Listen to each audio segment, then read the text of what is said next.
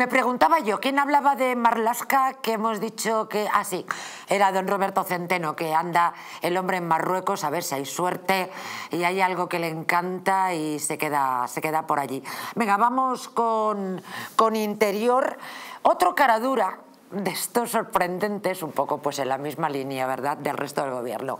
Ustedes saben que está la policía, pues que lógicamente están planteando eh, pues equiparar sueldos, eh, anda revuelta la policía, andan pidiendo medios, andan pidiendo efectivos humanos, andan pidiendo efectivos técnicos, andan pidiendo un aumento y este, este tipo, Marlasca, les dice que sí, mientras que está negociando lo contrario. Esto es rigurosamente cierto. Lucio Muñoz. Buenas noches, María José, como siempre. Explica que yo no miento, compañero. Un abrazo, bienvenido a tu programa.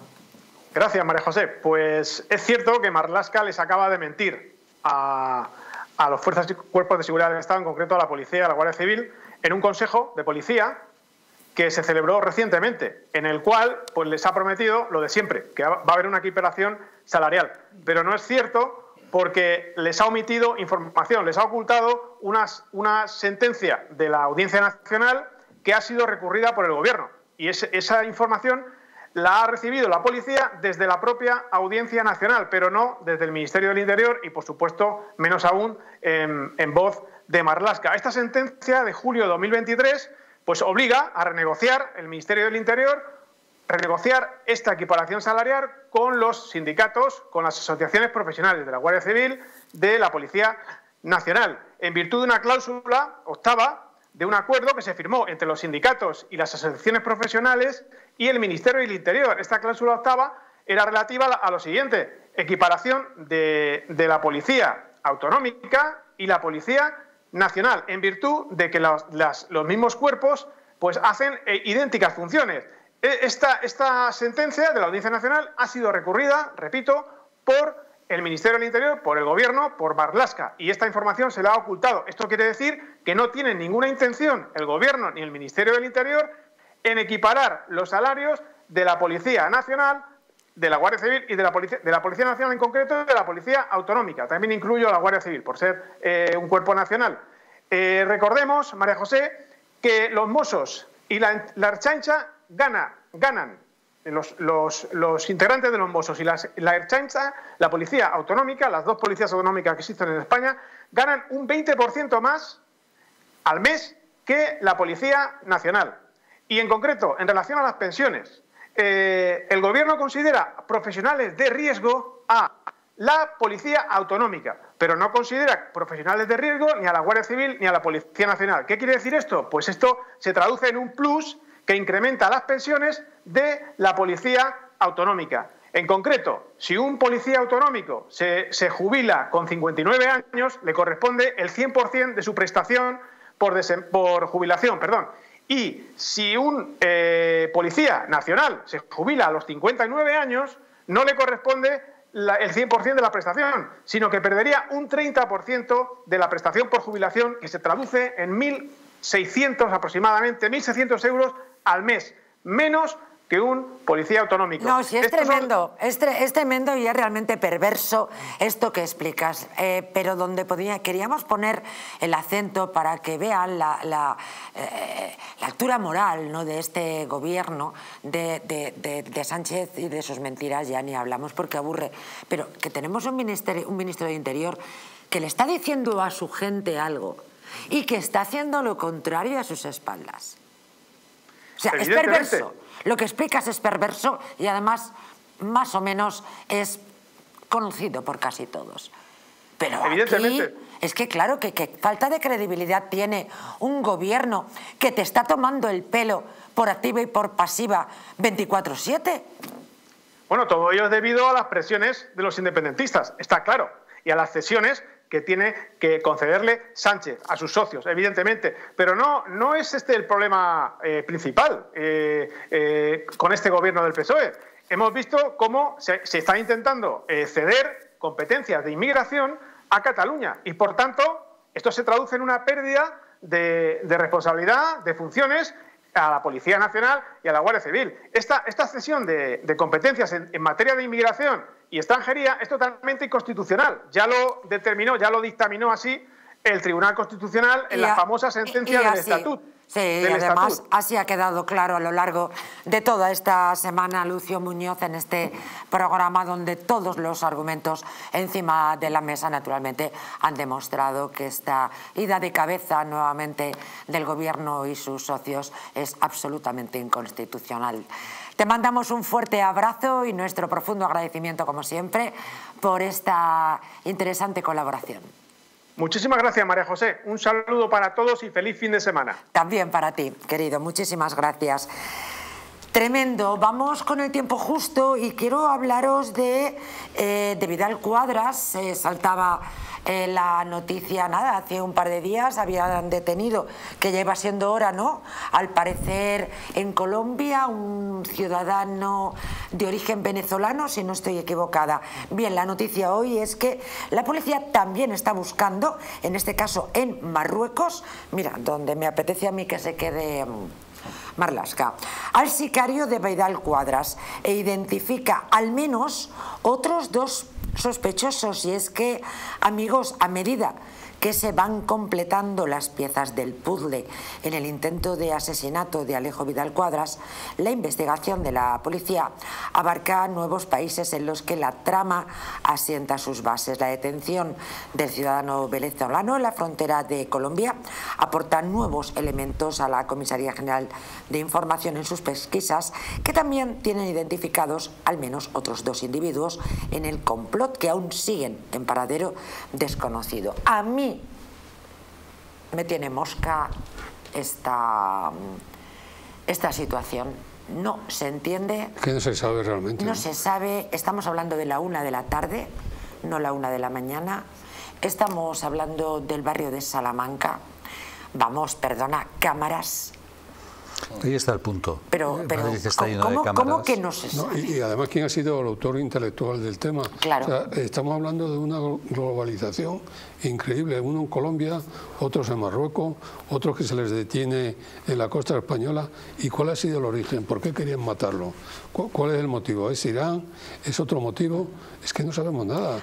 Madrid, una, de la tarde barrio de Salamanca. Vamos a ver, yo Imposible. Espero que a estas alturas de la película, que no debió aparecer nunca Irán, el, hecho de Irán, porque eh, señalar a Irán en esto es como señalar se ha hablado, a, eh, Madagascar o ¿eh? Bután, es que no tiene nada que Lo ha hecho Alejo Vidal Cuadras, si no estoy equivocada, fundamentalmente. Lo que quiera, podrá decir lo que quiera. Eh, yo creo que no hay ni nada político, se ha apuntado muchas veces a cuestiones políticas de otra índole, mucho más cercanas que Jurasán, tierras muy cercanas al Ebro, pero tampoco lo creo allá está la policía que investigue y, vemos que, las que la cuestión se va embrollando y aparecen sitios muy lejanos en dirección contraria en el globo a Irán. Pero eh, parece ser que Irán eh, es un país al que se le puede achacar cualquier cosa libremente. Eh, hoy se ha demostrado, la, la propia policía ha desechado la pista de Irán hace muchísimo, pese a que el propio implicado haya pasado eso. Yo lo que, a mi juicio, lo dije desde el principio, pero no lo sé, ni tengo juicio, no puedo emitir un juicio pero si me pedís, la opinión, eh, viendo el sicario, que era muy malo, muy malo, porque él le atravesó la cara, tengo entendido. Eh, no, que se giró, parece ser. ¿eh? Un, sicario de verdad. Te remata. Te remata eh, tranquilamente. Hasta, hasta aquellos paletos que eran la banda terrorista ETA eran medianamente eficientes. un sicario profesional no te atraviesa la cara, se monta en una moto, tengo entendido, y se va corriendo. Ha sido una, una chapuza de tal envergadura que yo sigo apostando por la cuestión personal y que tire la policía por ese terreno. En un primer momento solamente quiero recordar a nuestros telespectadores toda esta situación. Este suceso tuvo lugar el pasado 9 de noviembre, que digo yo, verdad, que ya ha llovido. Eh, tuvo lugar además a plena luz del día, calle Núñez de Balboa de Madrid, barrio de Salamanca. Insisto, discúlpenme, cámaras una sí y una también cada metro y medio. En un primer momento fueron capturados un joven de Mijas, recuerdan, en Málaga, propietario de la motocicleta que se empleó en el atentado, y otras dos personas en Lanjarón, en Granada, en Araya Gómez, un individuo vinculado al chiismo, y la pareja de este, una ciudadana eh, británica. Chita, ¿lo es? Ha hecho chita. Bueno, y el de la, y el- y el Bueno, de ya, la pero furgoneta- y el que, de la furgoneta pero que irá de- son los chitas, ¿eh? O sea, pero pero que que- no es un invento lo de Irán y lo de los chitas, ¿eh? O sea, Si, eh, si hablamos de Irán, vamos a hablar Irán de, no es un estado benéfico. Si hablamos ¿eh? de Irán, No es vamos a hablar benéfico, de la relación que tuvo Vidal Cuadras con Irán. Bueno, y no pero- es el Estado de pero Irán. bueno, pero yo no creo es que el Estado además de Irán. es todo dato- lo contrario. Hay un dato, María José, que el de la moto lo habían detectado el día antes, parece ser la policía que custodia el Palacio de la Zarzuela. Lo habían visto. O sea que todo, todo el tema arranca. Esto no se porque, entiende. Claro, la policía ve un tío sospechoso que está dando vuelta, lo detiene, le ven el número de la moto y tal, y cuando se produce el atentado dicen, pero si era este tío el que había estado aquí el día antes. O sea que es todo muy raro, ¿eh? es todo muy raro. Yo creo que no hay que descartar nada. Ah, ¿eh? Está publicado, mm, no voy a decir cosas que sé y que a lo mejor mm, si me caliento no pudiese demostrar, pero está publicado por el país y con fotos eh, incluidas de la relación que tuvo Vidal Cuadras con los mujahidín del pueblo iraní, que aquí se les llama oposición, pero son un grupo terrorista. Por el país. La El fuente es el país lo país. publicó, así que me amparo en esa publicación. La fuente es el país. ¿Eh? La fuente es el país y te lo crees.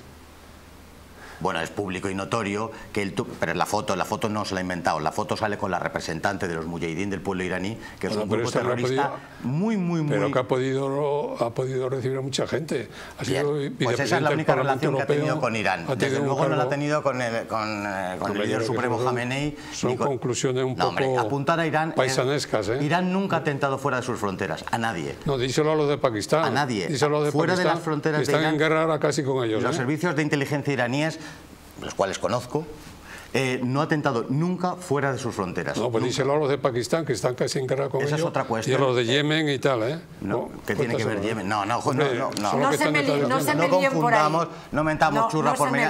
Irán no tiene ninguna implicación, ninguna implicación en Yemen, ninguna. Son los que le dan las armas a ninguna. los del Yemen, Lo que usted ¿eh? está apuntando de Pakistán es lo de Beluchistán, que es mucho más complicado que para explicarlo aquí en cinco No, le minutos. ruego por favor además que nos Y centremos no, en la insisto, nunca los servicios de inteligencia han atentado fuera de su terreno. Mm, Nunca, Son- absolutamente nunca. Y Vidal Cuadras políticamente le santos, importa ¿eh? Irán como a mí eh, Bután, aproximadamente. Nada. La cuarta pieza, porque hemos hablado del de la motocicleta, de la pareja, serían tres. Cuarta, eh, tres piezas en un mismo rompecabezas. Esta cuarta pieza es la de eh, Merez Ayari, no sé si he pronunciado bien, discúlpenme, un hombre de origen eh, franco-argelino de 37 años, prófugo de la justicia e implicado eh, con otro episodio violento en las inmediaciones de París. La policía considera que es la persona que apretó el gatillo de, en Núñez de Balboa a plena luz del sol, vuelvo a repetirlo para que a nadie se lo olvide, aunque erró, como bien decía Juan de Dios, en sus intenciones y Vidal Cuadras, aún malherido, logró salvar la vida. ¿Cuál es el paradero de Merez Ayari? Pues no lo sé, yo desde luego... Muy confuso es- todo, es- eh, y, y es raro. No descarto nada, ¿eh? y es raro que con la cantidad, como dices tú, María José, de, de cámaras que hay en, en Madrid, que cada vez aumentan En más. esa pero sí. Pero que los han detenido, Pues los, han identificado. Si el problema es saber quién ha ordenado Pues- el atentado, ese es el mira, problema. Pues mira, yo O sea, el creo que, es quién ordenó el atentado. que, que deteniendo y no sabiendo ahora mismo de qué, de qué hilo tirar, o No, igual no lo saben y no lo han dicho, ¿eh? Es, una cosa rara, ¿no? Eh, quiero decir que un político, un eu- europarlamentario, una persona que ha sido fundadora de Vox, o sea, eh, un atentado en España desde que, que hacía bastantes años que no se cometían un atentado. Y se tarda, es, es como que está en una nebulosa y como que se va a dejar ahí, ¿no? Eh, que, que se va a perder ahí en el... eh, se va a diluir. Vamos a dejar ¿eh? pasar el me- tiempo, ¿no? Sí, me No da la se sabe que- cuál es el Hay autor, ¿eh? veces que parece que no hubiera la intencionalidad por, por esclarecerlo, pero también no sé. hablas de atentado y a lo mejor estamos hablando de un ajuste de cuentas. Bueno, bueno, atentado, hombre. Sea, atentado tiene un significado más Político. alto. No. Sí, es- a lo mejor es un ajuste de cuentas, ¿por qué no? Bueno, tan, tan condenable como lo otro, vamos. eh. Ah, absolutamente, no digo que sea mejor ni peor, pero que se... eh, Sí, pero, pero que en cualquier caso, Carlos, a lo que voy es, imagínate que fuese una- un ajuste de cuentas, pues es algo que inmediatamente, oye, lo dices, esto es por un ajuste de cuentas y además, ¿Pero de qué entre cuentas, comillas, en- entre comillas, desprestigias a alguien que está en contra del gobierno, ¿sabes? O sea, es un ajuste de cuentas será por algo... Pero sin embargo están, Es se está como diluyendo, ¿no? Sí, no, Están parece que como- no hay como- Porque no lo saben, que no saben, o no lo quieren decir, no, no, están no hay una intención de, o una, o una eh, urgencia en esclarecer algo que, hombre, eh, estamos hablando de un político, de un europarlamentario, o sea, no, no estamos hablando Ex. de cualquier... Es un europarlamentario, no es- Estamos hablando de un español que sale a la calle Sí, el 9 sí, de sí. noviembre Sí, sí. a la puerta de su casa en. Núñez de. Balboa Sí. a la una de la tarde, vuelvo a repetir. Y le pegan un tiro. Es que claro, y, y nadie sabe nada. 9 de noviembre, aquí Sí, estamos, Se deja como pasar el tiempo, estamos a mitad de enero de Ahora, 2024. lo sorprendente ha sido la detención en Colombia, ¿eh? Cómo- Sí. cómo- lo he visto Y ahora buscando he en visto Marruecos. he visto las imágenes y es increíble cómo lo detienen, ¿eh? Y además le leen los cargos, está usted acusado. Las hemos visto aquí esas Es imágenes es esta semana, sí. Sí, sí, sí. Con todo lujo de detalles, ¿verdad? Tremendo. No sé hacia dónde creéis que se encamina este, este suceso, que parece sé. ser que no hay ganas de esclarecer, ¿eh?